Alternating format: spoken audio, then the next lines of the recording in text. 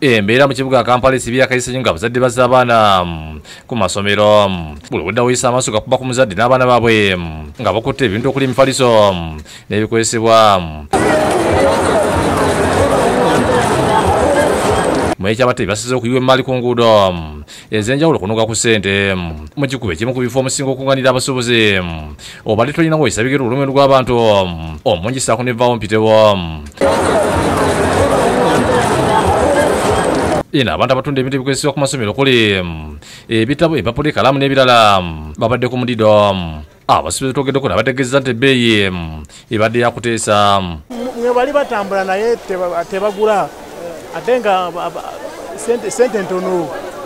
Ah, ebintu ebimu bi- tubisedde naye ate ebirala tutubisizza olw'ensonga kampuni zezimu zongezza ebintu ate ng'ate ebirala bisse bajumire kubanga bonna ba- bazze mu bungi mu mwaka bazze mu bungi ate bazze mulundi gumu.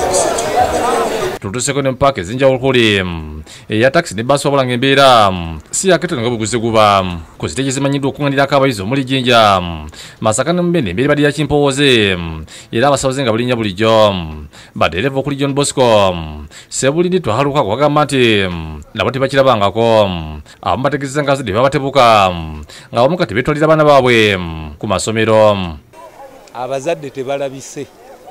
Nze neewuunya n'okwewuunya oba sikulu fiizi ze zikyabuze nga banaalabika naye tetulabye ku bazadde abatwala abaana. Essaawa